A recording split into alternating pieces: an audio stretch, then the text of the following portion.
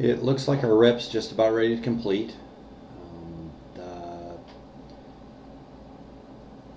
copy complete, one title saved, looks like it's about um, 29 gig. So that's kind of a huge file to move across your network. Um, I'm going to close this out. We're going to open up Handbrake next. Swing you out of here.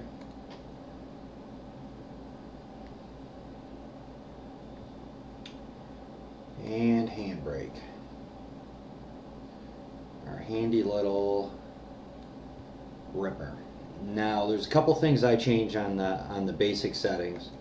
Um, we're going to check our source files. Uh, we're going to go to videos, law-abiding citizen director's cut. The only one we have in there, which it's reporting 23 gigs, so that's not too bad. It scans the title, gives you a little preview of it. See, it's 1920 by 800. Basically, it cuts out the top and bottom black bars, and that's the save size. Still plays just great on uh, the PS3 or the Xbox 360. I always click large file greater than 4 gigabytes.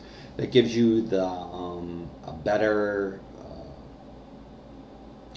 better quality, so Handbrake doesn't have to cut out too much.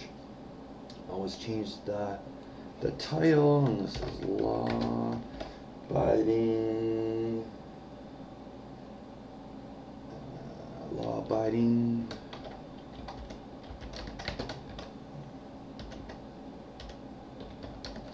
I always put HD at the end of my HD movies just because that way it um, identifies them from some of the other ones I have in those directories. And that's pretty much it. Um, you click start it scans it and then it starts ripping. And there it is encoding. Um, and the nice thing about handbrake is it's multi-threaded so it will hit all your processors. And, and when I say hit them I mean hit them um, I'm going to slide this over so you can see it. You'll see all the processors creep up to you know 100% here real quick.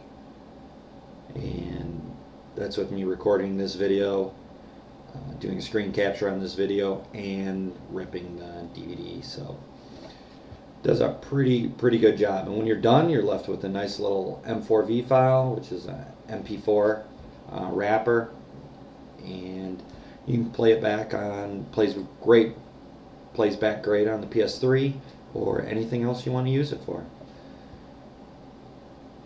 And that's it. I'm just going to let this roll so I have it. And I'm going to post this up at crackednoodle.com, so take a look for it. Thanks a lot and have a great day.